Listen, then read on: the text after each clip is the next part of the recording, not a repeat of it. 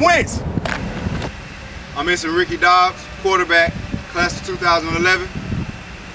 Lieutenant J.G. Arnold Taylor, O-line, class of 2010. Lieutenant Sheena Akindayo, cornerback, class of 2004. Commander Brian Debold, commanding officer USS Oscar Austin. We're currently forward deployed in the Indian Ocean conducting maritime security operations. We'd like to wish our brothers in arms best of luck in today's game. 11 years is a long time.